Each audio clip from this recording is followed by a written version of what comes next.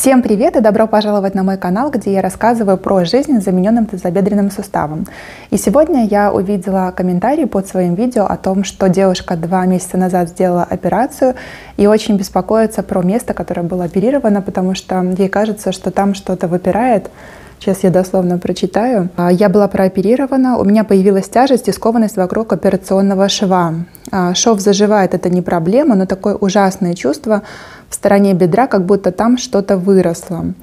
И девушка Ната по этому поводу очень расстроена. Я начала вспоминать э, свои ощущения, и у меня была тоже похожая ситуация. У меня очень сильно выпирало прооперированное бедро. Когда прошла только неделя после операции, я думала, что это нормально, что это отек. Но потом я прилетела домой, и через месяц э, я смотрю на себя в зеркало, и у меня вот одно бедро как бы ровное, а другое вот с такой огромной шишкой я, когда его пыталась потрогать, я понимала, что там что-то очень жесткое. То есть, ну, отек, наверное, должен быть мягких, а отек мягких тканей, наверное, должен был какой-то быть более мягкий. я тоже очень переживала по этому поводу. Я сделала фотографию, я вам ее сейчас э, прикреплю и покажу, и отослала доктору, спрашивая, должно ли так быть или у меня что-то пошло не так. Он сказал, что так должно быть, и со временем оно пройдет. И действительно, где-то через месяца 3-4, а через полгода оно вообще уже сошло на нет. И сейчас у меня ровные бедра. Я вам покажу. Вот. Вот это бедро у меня было прооперировано, и оно очень сильно вот так вот выпирало.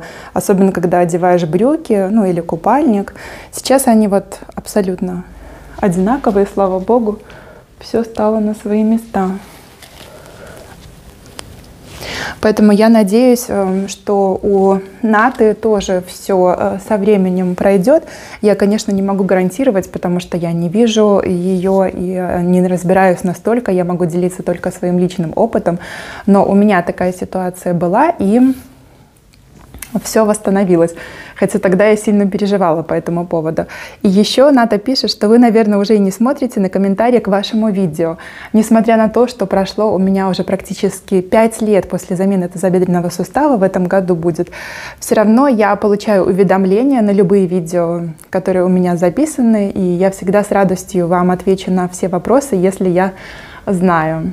И также хочу вам напомнить, что вы можете попасть ко мне на онлайн платную консультацию по любому вопросу по замене тазобедренного сустава, либо же по психологическим вопросам, которые вас волнуют. На моем канале накопилось уже много видео про замену тазобедренного сустава, как я делала операцию первые дни после замены тазобедренного сустава, также упражнения, которые я делаю сейчас.